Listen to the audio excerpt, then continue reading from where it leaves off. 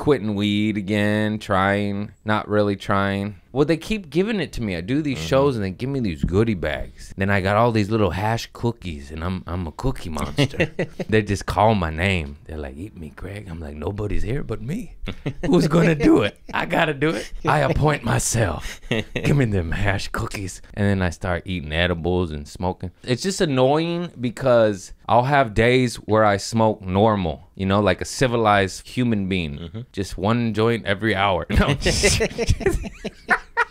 For instance, like a joint will last me two, three days. That's chill. I don't mind that. But then, you know, when I got the goodie bags, and then I'm like, oh, some guy gave me 100 milligram sugar for my coffee. You know, of course it's good. of course it's good. Up and down, you know? Why do you think I used to like Oxycontin and, and cocaine? Up and down. But that's dangerous. Don't do it. You're going to die.